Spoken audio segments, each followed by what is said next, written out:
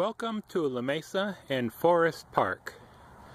Elevation 2,995 feet. That's not too bad. We have a four day limit, no charge. It's $20 per day after four days. And we've got water and electrical hookups. And we have a dump station available.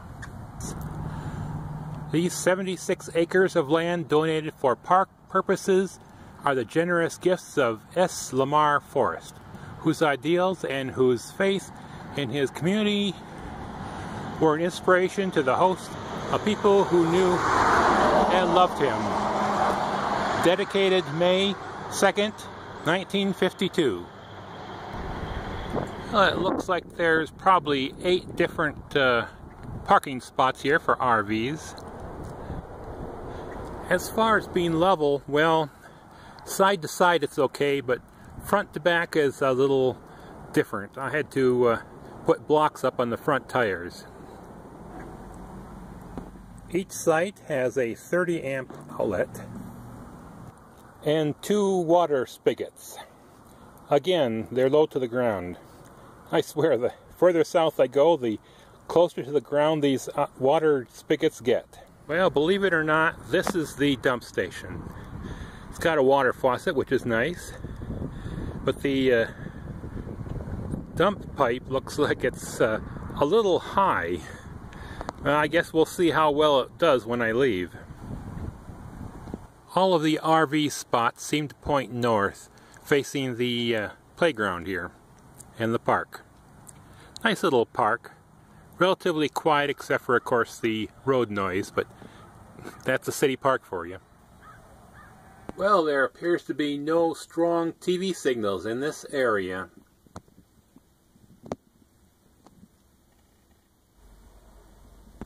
And it appears there are no open Wi-Fi signals.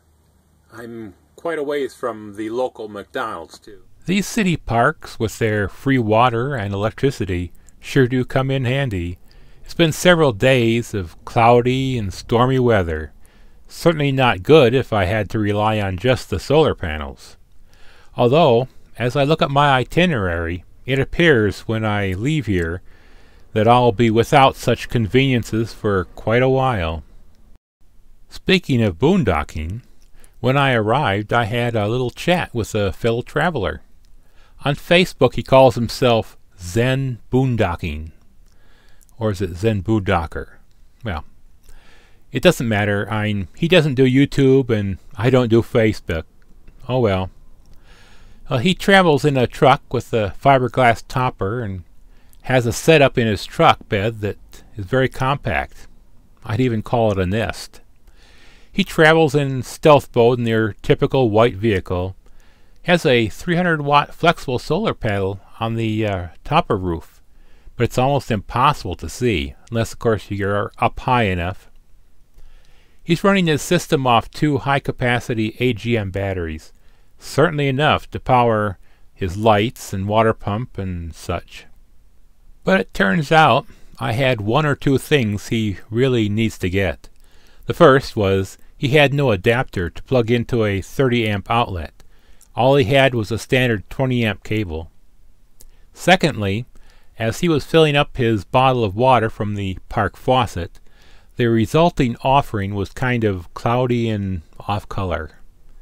So I had him fill up his water bottle through my water filter. The result clearly showed that the use of a water filter should be a requirement for all travelers. It certainly justified my decision to install one in my fresh water hose.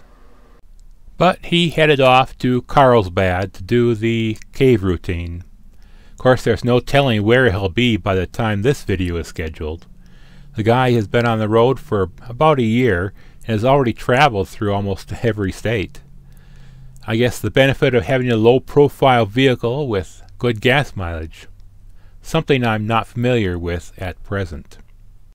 Well, hopefully the skies will clear up and the wind will die down for the next leg of my journey. Who knows, perhaps I'll meet other travelers who also travel off the beaten path. As with many of the previous city parks I visited, It seems other travelers tend to stay the night here in Forrest Park and move on in the morning. I guess I'm not as hardy as they are, since they had no problem getting out in the rain to hook up their motorhomes on arrival and disconnect on departure, all while I was warm and dry inside, enjoying the rain and thunder. I'll certainly keep Forrest Park in Lamesa, Texas on my list of places to revisit. I just have to make sure I have distractions to substitute for the lack of TV and internet.